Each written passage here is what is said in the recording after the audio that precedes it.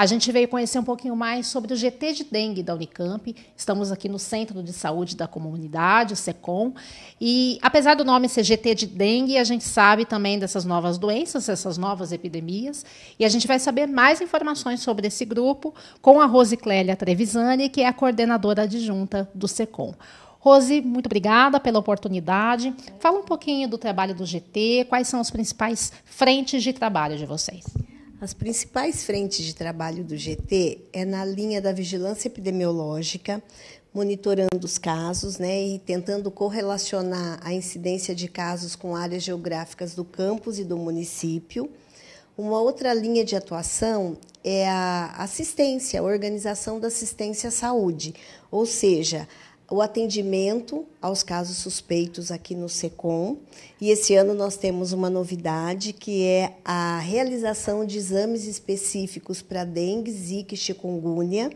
Né? Desde ontem, o SECOM já começou a coletar exames dos casos suspeitos para investigação diagnóstica, então isso com certeza vai ser um diferencial aqui na nossa assistência durante esse ano de 2016.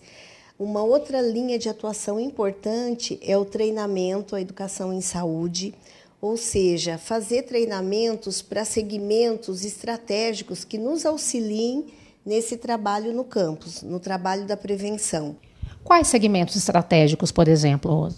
Nós realizamos treinamento para cipeiros, treinamento para vigilantes. Esse ano é um, uma atividade nova.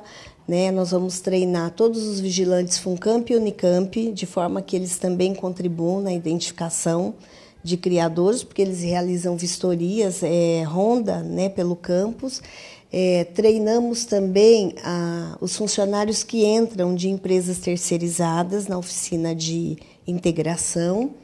E, enfim, e realizamos palestras às unidades conforme demanda, capacitamos os nossos profissionais aqui com atualização de protocolos.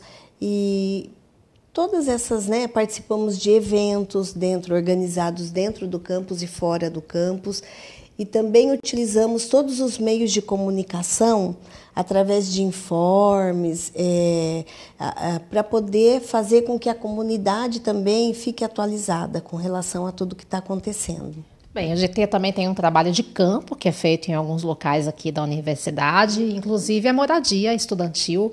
É, a equipe da RTV conseguiu acompanhar é, um dos trabalhos feitos pelo GT de Dengue em parceria com a Prefeitura Municipal de Campinas. Vamos dar uma olhadinha o GT de combate à dengue da Unicamp realizou mais uma vez ação de prevenção e conscientização na moradia universitária. Em conjunto com agentes da saúde da Prefeitura de Campinas, cerca de 15 pessoas passaram de porta em porta informando os estudantes e distribuindo panfletos. Uma limpeza do local, retirando possíveis criadouros do mosquito Aedes aegypti, também foi feita. Mais ou menos 10 sacos de 60 litros foram removidos, com destaque para garrafas de cerveja e copos plásticos. Marco Caruso, que já participou mais de uma vez da ação, comenta a diferença sobre os anos anteriores. Esse ano de 2016 está bem mais controlado em relação a anos anteriores que teve grandes epidemias. Rose, a gente conferiu algumas imagens né, de um trabalho de campo que vocês realizaram em março, na moradia. Como que é esse trabalho, esse envolvimento, mais nos locais mesmo, dando uma olhadinha nas situações, em possíveis criadouros? Se vocês detectam algumas regiões de risco, qual que é o procedimento, como que isso se dá depois? O trabalho na moradia ele é realizado em conjunto com a equipe da Vigilância em Saúde do Distrito Norte. Né? É um trabalho aí da parceria nossa, Unicamp, com a Prefeitura de Campinas. E nós levamos nossos funcionários, alguns cipeiros participam dessa ação, e eles junto com agentes de saúde. Então, nós passamos em todas as casas da moradia, orientando os moradores, entregando material educativo, folder, e identificamos possíveis criadouros em áreas comuns né, ou dentro das próprias residências. E quando isso acontece, o morador é orientado de como descartar, como que deve ser o procedimento com relação a, ao encaminhamento desse material. A coordenação da moradia ela participa desse trabalho junto com o GT. Né? inclusive para juntos identificar o que, que tem de problema e dar os possíveis encaminhamentos. É um trabalho que nós fazemos já há alguns anos, né? E ele tem sido bastante positivo. A intenção é receber é, é, esse tipo de queixa, né, relacionada se algum aluno ou funcionário visualizou um criador, então ele manda no e-mail e aí através do e-mail a gente encaminha para a área que tem que resolver aquele, aquele problema identificado. Então, no caso, se é um problema de manutenção, ou se é um problema que tem que ser resolvido na própria unidade, ou se é um problema de coleta de resíduos. Então, esse e-mail ele direciona a queixa para a área que tem que resolver o problema, e com isso a gente está conseguindo controlar, identificar melhor né, essas, porque o campus é um lugar muito grande, né? A gente tem uma circulação grande de pessoas praticamente funciona como tem o tamanho de um município. Né? Então, com isso, a gente consegue encaminhar e, inclusive, acompanhar a resolução daquele problema. E falando em problemas, em resolução, como que a Unicamp está em relação à incidência desses casos? A gente consegue ver alguns avanços? Qual é a sua avaliação? Olha, comparativamente aos dois últimos anos em que a gente teve né, a grande epidemia de dengue, e com todo esse trabalho que a gente vem fazendo, com certeza a gente sabe que os resultados eles já eles são melhores, né? É, esse ano a gente já fez uma análise estatística comparando os três primeiros meses em relação ao ano passado, por exemplo. E a gente já per percebeu uma queda significativa no número de casos notificados de dengue, né? Então, cerca de quase 60% de, comparativamente ao ano passado.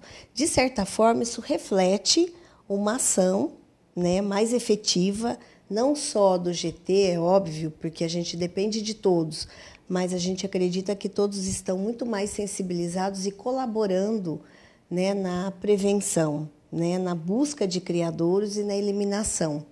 E também agora com a entrada do exame aqui no SECOM, com certeza também vai direcionar aí para a gente se não é dengue ou se de repente isso é zika, né? E a gente acredita que com isso a gente está tendo então um bom resultado. É sim. Vamos, a gente já está caminhando para o final da entrevista. Eu só queria detalhar um pouco mais esse processo dos testes, né? Que é uma novidade de fato que vai possibilitar um diagnóstico melhor daquela situação. O teste de Zika, por exemplo, ele é feito apenas para gestantes, né?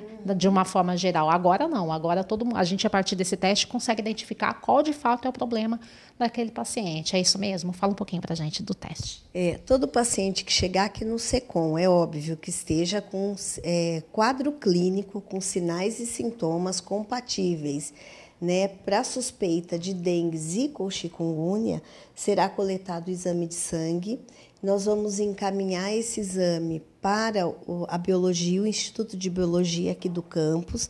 Ele vai ser processado e depois nós vamos receber o resultado de forma que se identifique se é dengue, zika ou chikungunya. Então, com certeza, isso vai ajudar bastante no diagnóstico né? E como eu disse no início da entrevista, é um exame que não está disponível na rede pública, né? Porque hoje a rede só faz o exame do Zika para gestante, então ele é específico para gestante. E a Unicamp ela está sendo assim, vamos dizer, né? Pioneira. Pioneira e privilegiada nesse sentido. Muito bem, muito obrigada. Então, só reforçando o e-mail de contato do GT para quem quiser saber mais informações, tirar dúvidas é dengue.unicamp.br. Ok, muito obrigada então, Rose, pela participação e até o próximo registro geral.